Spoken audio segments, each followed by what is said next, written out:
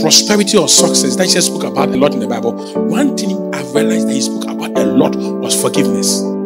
If you are not a person who easily forgives, your ability to be successful on this earth will be very, very difficult. There are some of you, the prayer you are praying, Master, forget it until you go and talk to your mother, until you go and talk to your father. Then you are branded a witch or a wizard. Until you negotiate and talk to people who, who you are not talking to, you are in bondage, and that bondage, I can promise you, no prophets set you free. Nobody. The one who has allowed you to be in that bondage, to be tormented, is God Himself. Read your Bible very well. He said, when you are bringing your offering, and you remember that you, somebody has something against you, leave the offering. So all the seed you are sowing that is not bearing fruit, check your heart. Forgiveness is one of the, the keys to assessing success on this earth. If Joseph had not forgiven his brothers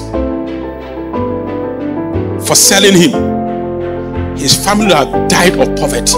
And what the essence of your success if your family doesn't get blessed? I'll bless you so that you be a blessing. And I've taught you that all the great people I know in the Bible, the last thing or the last but one thing they had to do was to forgive. Jesus forgave on the cross so that he can sit on the right hand of God, right? Joseph forgave his brothers and they saw that that is Joseph. They were bowing down, but they didn't know they were bowing down to Joseph.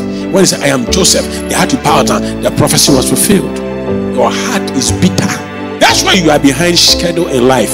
You know why you don't have a boyfriend and a girlfriend, nobody wants to marry you. You have not forgiven the one who hurt you. Yeah. You are still holding on. Any, anytime you don't forgive anybody, the person is the one that has occupied your heart. So there's no room for anybody. Whoever you don't forgive has occupied the space in your heart, and nobody can feel it. Not even God.